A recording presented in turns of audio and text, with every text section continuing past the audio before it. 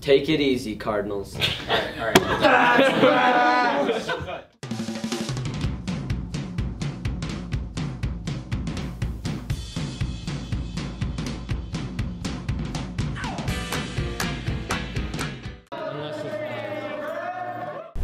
Good morning, Cardinals. I'm Maddox.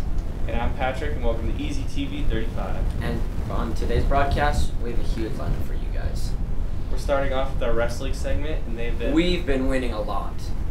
Let's go look at the wrestling team.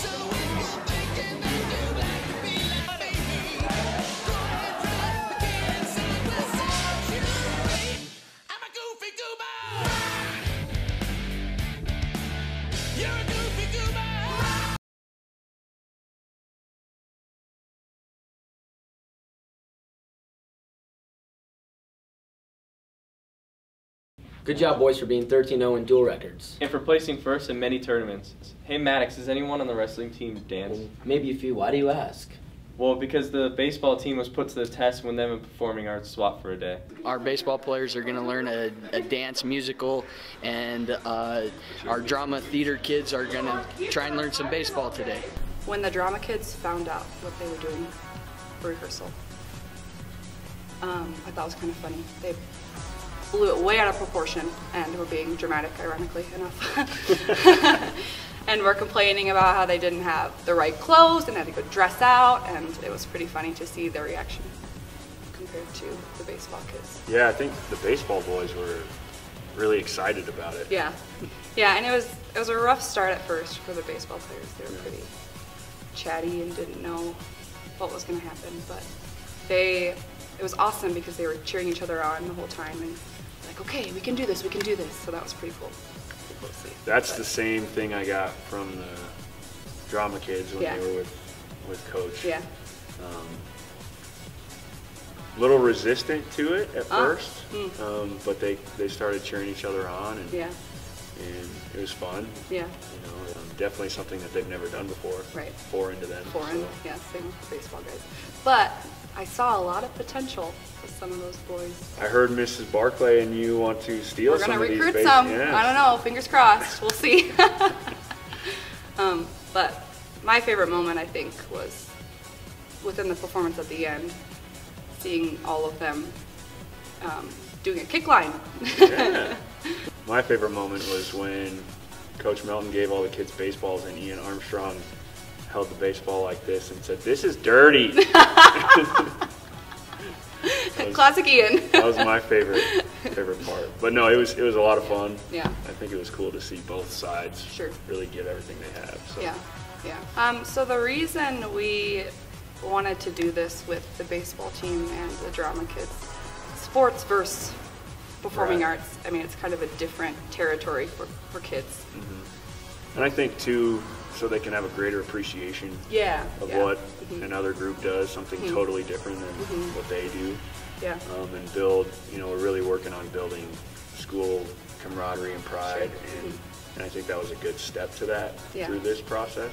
And it was entertaining. It was very entertaining, extremely Um, entertaining. yeah. So we we based our choice off of which team or group made the most improvement Correct. within the hour they had, so. I'll let you do the honors. Congratulations.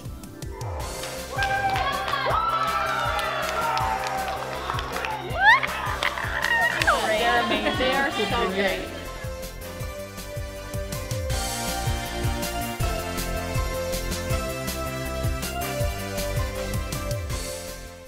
Now that looked like a lot of fun. And at the end, they learn that much more about each other. On the topic of theater, the performing arts students are producing a new musical. Let's go see what they're Little up to. Women is about a family of a lot of girls. There's four sisters, and they all try to get through life, and they each find their own paths on their life, and they find their own way to live and find happy moments and bad moments, and they just thrive. Four women growing up with each other in like a household. Jo is the main character, and she's like writing stories, and she tells one of the stories, and then they grow up. these four sisters who go on this great journey through life and it's run over like a course of years It is a story of um, family and hardship and overcoming a lot of different struggles within um, the show itself and just within life in general. So. My favorite part about being in Little Women is the people in it, and how strangely uplifting it is. Growing with the family, like we have such a big community. And we all get to build off of each other's strengths. Being able to perform with all of my friends. Probably the music. It's just so incredibly beautiful. The cast, they're all so amazing, and everyone's doing so well. my character is theodore lawrence iii but everybody calls me laurie i can play the piccolo i can sleep standing up and i once won a medal at school for holding my breath nearly three minutes before passing out I can't tell you who my character is, but I hope you enjoy it. Sister Secret. Uh, my character character in Little Women is Clarissa, and she is the female lead in Jo's novel. Um, I play Beth, who is the second to youngest March sister and who is the main character Jo's best friend. it's an authentic experience It's a story about family and love and loss and a lot of relatable topics that everyone goes through in their own way. It gives you a new perspective on family. It's a really classic story and it's we've all worked so hard on it. My favorite part about Little Women is how it can touch a whole bunch of different people, no matter what kind of person you are, what kind of life you've had. There's always something that someone can connect to no matter what. Hey Preston. Hey Griffin, how are you, bud? Good, how are you? I'm good. Hi Jacob. Hi. Why do you shave your head? So I shave my head to show support for these kids who um, battle ca- battle with cancer, um, and just to show solidarity with them because you know it's not their choice as to whether or not they go bald, but it is our choice as to whether or not we support them. And so I try showing my support and solidarity with them by raising money and shaving my head. Honestly, I shave my head because I just love helping out in the community. I love, um, just love helping out in the community and giving back to people that really need it the most. Thank you. Alrighty, thank you, Griffin. Thank you.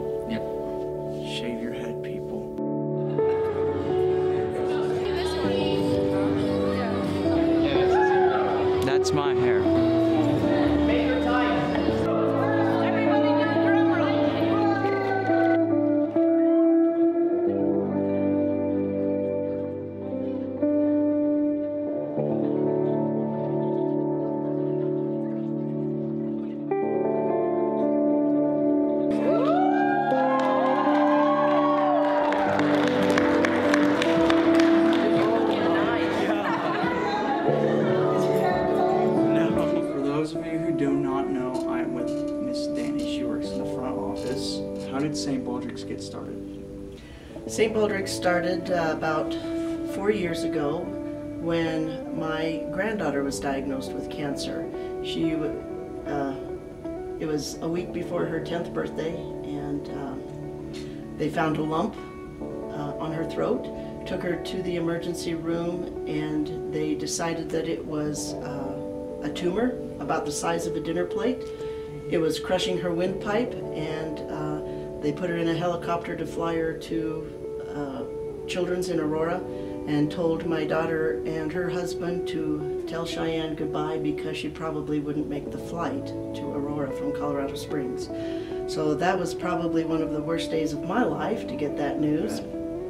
But anyway, um, she has finished her cancer treatment a year ago and is doing very well, so we're really happy to tell you that. but uh, we got involved with St. Baldrick's because St. Baldrick's asked Cheyenne to be uh, one of their um, representatives for a year. And so, an ambassador, I guess is the word. And so that's how we got involved. We started going to St. Baldrick's events and uh, found them to be very touching to the heart. You always walk away with tears in your eyes watching people get up there to shave their heads. And so uh, we started it here.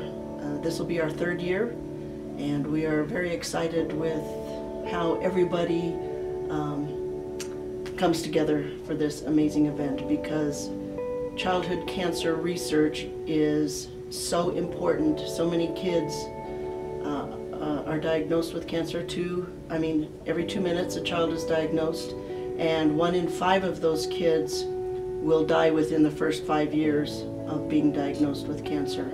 So we feel very blessed about Cheyenne, but want to do what we can do to help other kids.